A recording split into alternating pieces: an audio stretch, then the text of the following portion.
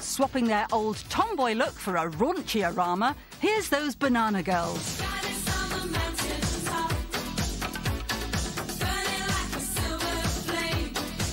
These are the three girls that prove the power of video, because they got it. Bananarama understood the medium of video more than anybody.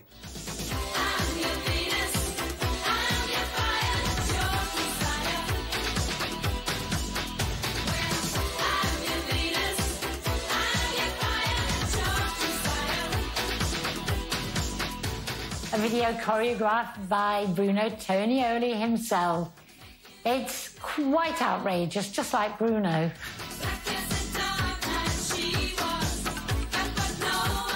This is the one video that captures two classic cheesy 80s dance moves. And a lot of this, like the 60s. She's got it, yeah, baby, she's got it. And that shimmy down dance.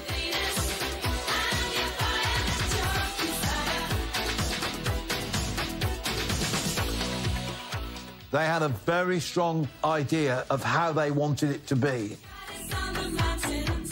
The three of them play other characters. So one of them comes out of a coffin, one of them's dressed as a red devil, and another is like a sea goddess coming out of a shell. And they all look absolutely gorgeous.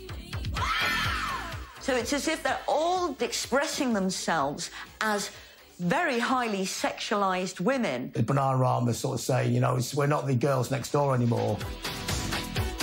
So I think you've got the women are dominant, and the men are just reduced to writhing, oiled lumps, which is where they belong, obviously.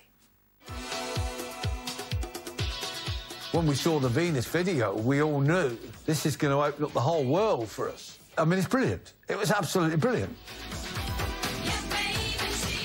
It was just extraordinary. They obviously had such fun with it. The original girl power, isn't it?